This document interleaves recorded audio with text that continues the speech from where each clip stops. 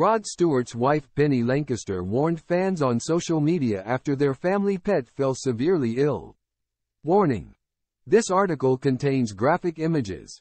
Penny Lancaster, 52, has shared an update about some distressing news about their family pet on social media. She uploaded an image of the dog medicine and alleged that it can cause severe bleeding. She went on to claim that this side effect was not listed in the warnings for the medicine. Penny alleged to her 176,000 followers. Not on the label but in rare cases this dog medication can cause severe bleeding.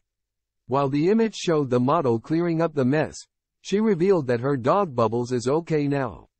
Express.co.uk contacted the manufacturer's Boehringer Ingelheim for comment.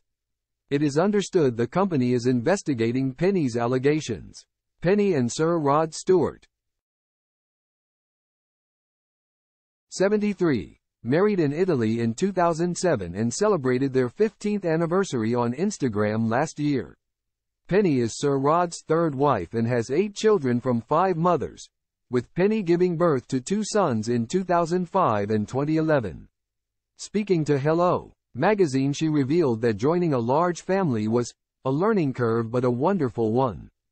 Penny added, It's so lovely that we're all so close and they all turn to me for advice, to talk about dad, boyfriends and career choices. It's a big happy family now. Dot. She also recalled fondly what it was like being a grandma to her stepdaughter Kimberly's little girl.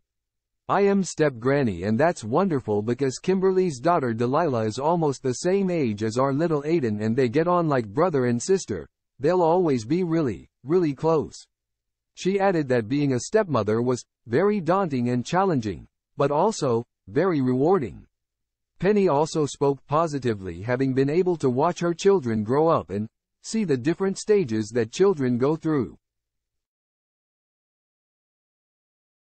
The music superstar often posts about his large family, and recently celebrated the success of his youngest son Aiden, 12 who finished as a runner-up at a sports competition. The London musician posted a photo of all the family smiling as he wore a medal on his neck. Penny shared further photos of her step-grandchildren with the caption, Congratulations baby Otis at Ruby Stewart at its Jake you guys. In addition to welcoming babies, Sir Rod has teased a new venture that the superstar is working on.